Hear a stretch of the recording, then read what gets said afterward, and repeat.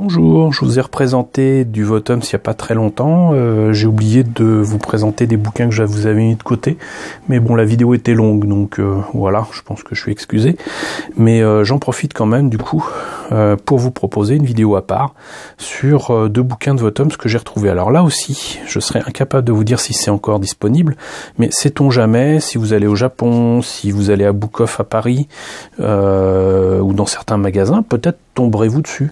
Et euh, donc il est important de savoir que ça existe. Alors évidemment, Votum étant une licence importante au Japon, euh, non seulement vous avez beaucoup de bouquins dessus, mais vous avez aussi des bouquins qui concernent non seulement le mecha design en particulier, pas seulement les personnages ou l'histoire de la série ou des EOV, mais euh, bien évidemment des maquettes. Et avant de parler de Armored Trooper Votum's Perfect 3D Book, qui est en fait ici une réédition d'un très vieux bouquin des années 80, je tenais à vous présenter ceci, qui est l'AT Color Materials, donc Armored Trooper Color Materials.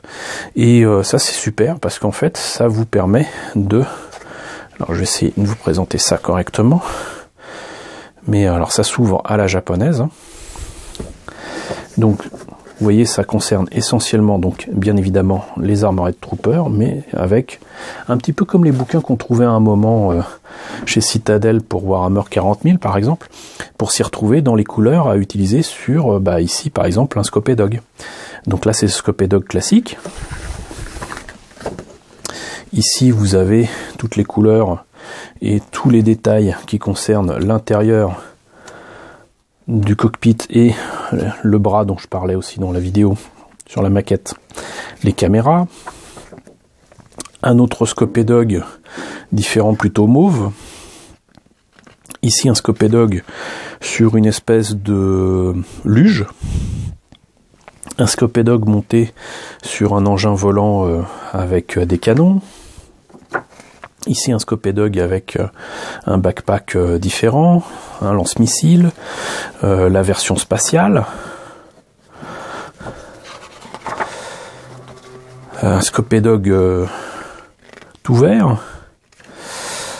un scopédog extrêmement surchargé en armes, ce qui normalement n'est pas conseillé, mais Kiriko Cuvier dans un épisode le surarme pour euh, lutter contre une section euh, qu'il sait être euh, assez assez badass. Donc là, vous voyez, il a des lance-missiles, des mitraillettes, des mitrailleuses, des trucs à laser ou quoi, j'en sais rien, mais bon.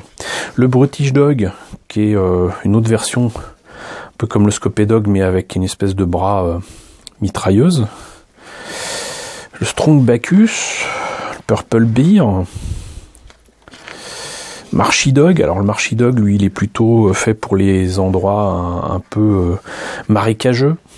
Hein, avec euh, les pièces d'articulation qui sont protégées, des roulettes qui sont plutôt sur les côtés plutôt qu'en bas puisque ça sert à rien dans les marais. Et carrément aussi donc des flotteurs qui sont sur les côtés et qui euh, donc du coup se gonflent et permettent euh, d'utiliser le, le Marchidog euh, sur l'eau. Le Diving Beetle que je vous ai déjà présenté en, en soft vinyle ou en 24.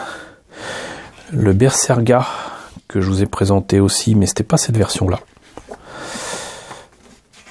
Peut-être plutôt celle-là, je sais plus. Le Standing Tortoise, alors ça c'est clairement, euh, ça c'était une nouveauté Bandai qui n'existait pas je crois chez, euh, chez Takara en tout cas ou en 24. Peut-être en 48 mais pas ou en 24. Voilà, le Zwerg, pareil, ça il n'existait pas du tout en maquette. Le Fati, il existait ni au 1.48, ni au 1.24, ni rien. Il existait en soft vinyle. Et c'est tout. Merci les voisins qui klaxonnent. Et le Fatty est sorti, ça fait partie des nouveautés en plastique injecté qui étaient sorties chez Bandai, donc euh, à partir de 2007, peut-être 2010. Le Strike Dog que je vous ai présenté. Le Rapidly Dog.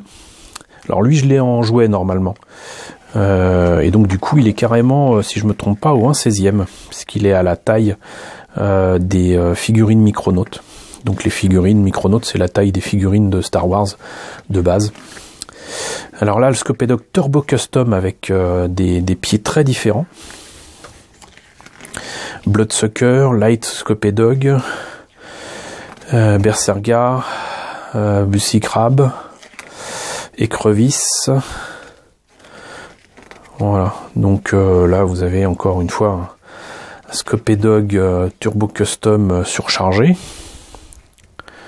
Et tout ça, ça donne des, vous voyez, ça c'est quand même très très inspirant quoi, avec des, des pièces qui font chenilles de char pour ajouter au blindage et tout.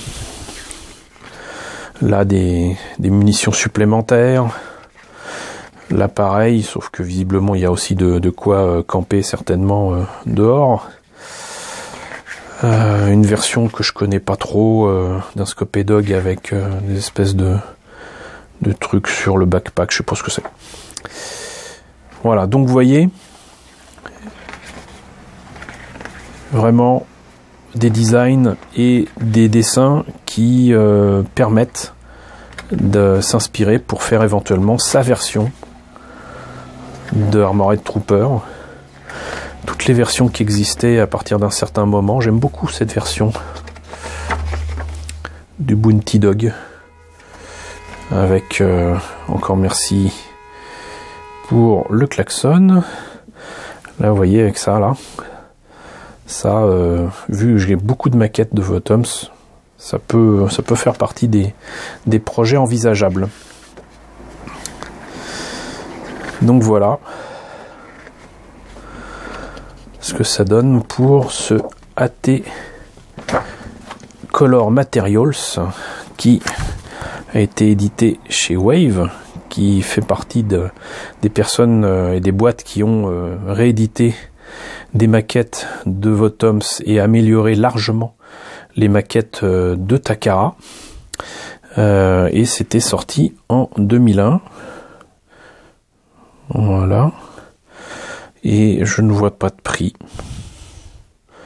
Je ne vois pas de prix, je suis désolé, mais bon, voilà. Du moment que vous savez que c'est chez Wave et que ça s'appelle comme ça, vous devriez peut-être trouver la référence sur le net. On va passer à Armored Trooper Votoms. Alors, sur Armored Trooper Votoms Perfect 3D Book, lui par contre se lit de manière un petit peu plus conventionnelle pour nous autres euh, occidentaux. Et j'aurais peut-être pas dû enlever le, le support, il, il va m'aider quand même. Donc ça rappelle un petit peu l'univers de Votoms. Visiblement, c'était un peu comme faisaient souvent euh, certains éditeurs dans les années 80. C'est une espèce de roman-album, si vous voulez. Euh, ils ont fait ça pour Pat Labor, pour Gundam, pour tout un tas de choses. Et donc, en fait, le prétexte, c'était d'utiliser des photos et des modèles montés et peints par des gens plus ou moins de talent euh, pour, pour présenter de très belles photos.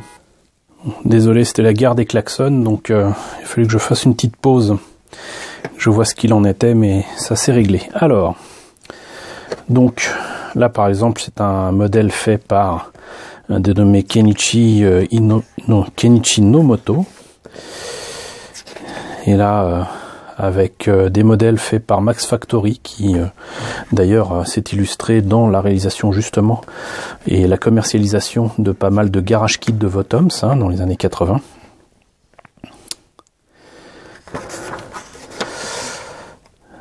Du Kenichi Nomoto qui visiblement aime faire des maquettes très propres. Hein. Là par contre on a un Shinji Fujita qui s'est lâché et qui a fait euh, donc un, éclaté, un, écorché de Votoms avec beaucoup trop de câbles si vous voulez mon avis mais ça le fait.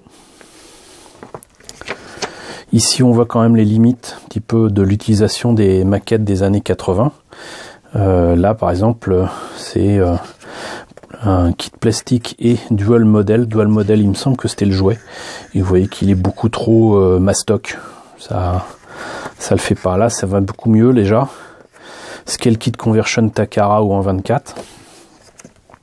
Donc certainement des pièces modifiées, notamment pour les points. Le Brutish Dog,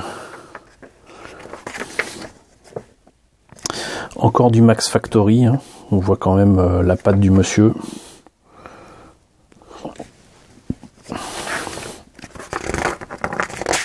Avec euh, Donc voilà.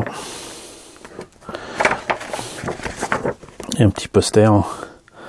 Tant qu'à faire, vous voyez, un petit peu de fumée, un bon photographe, ça peut le faire. Le bloqueur qui à mon avis, oui, full scratch. C'était la partie humaine, donc euh, sur une espèce de, de planète à la Vietnam. Donc on peut continuer comme ça longtemps, mais ça représente sinon des scènes imaginées. Là, le Standing Turtle, par exemple, magnifique euh, diorama. Soit euh, avec des personnages ou des euh, vraiment issus de, de la série, avec le Berserga ici, le Diving Beetle. Alors ça, ça m'a beaucoup aidé parce que c'était un modèle que j'avais eu, comme je vous l'avais dit sur la vidéo. C'était un modèle euh, pirate en fait. Hein. C'était pas, c'était pas le, vrai kit en soft vinyle. Et donc là, c'est le euh, modèle en soft vinyle qui était donc présenté ici en photo. Ça m'a beaucoup aidé pour repérer les, pièces et savoir où les placer. Voilà. Et euh, ce modèle-là est magnifique et il m'a beaucoup aidé. Diving Beetle. Donc ça c'est les modèles 35. Oui c'est vrai qu'il y a des modèles 35 aussi. De Takara. Donc très inspiré de, de diorama euh, qu'on trouvait fut un temps concernant le conflit euh, au Vietnam. Là plutôt un diorama euh, désert, mais avec beaucoup de choses hein, qui se passent là dans l'espace. Le Fatih, donc qui existait à l'époque en soft vinyle. Voilà. Le Strike Dog, que je vous ai présenté aussi. Mais là, c'est la version 1.35. Moi, j'ai la version 1.24 en soft vinyle. Voilà, on peut continuer comme ça longtemps, encore une fois. Hein. Dog. Zwerg, les versions 1.48. Voilà, ça fait le tour vraiment de tout ce qu'il était possible de faire en maquette euh, Votoms avec donc voilà là visiblement des trucs euh, en vidéo pour une pub avec carrément un circuit comme un circuit de train pour faire bouger le, le Votoms au tout ça avec de la fumée, etc. Vous voyez la, taille du truc. Et euh, c'était filmé pour une pub qui, j'imagine, passait à la télé. Et avec même des pièces euh, visiblement euh, taille humaine pour faire illusion, j'imagine. Donc voilà, ça c'est un truc sur Max Watanabe. Des explications pour rendre les pieds articulés des maquettes qui ne l'étaient pas à l'époque des portraits visiblement des différents modélistes, maquettistes de cet ouvrage. Et on continue dans le délire avec euh, ce magnifique Bloodsucker de Max Watanabe.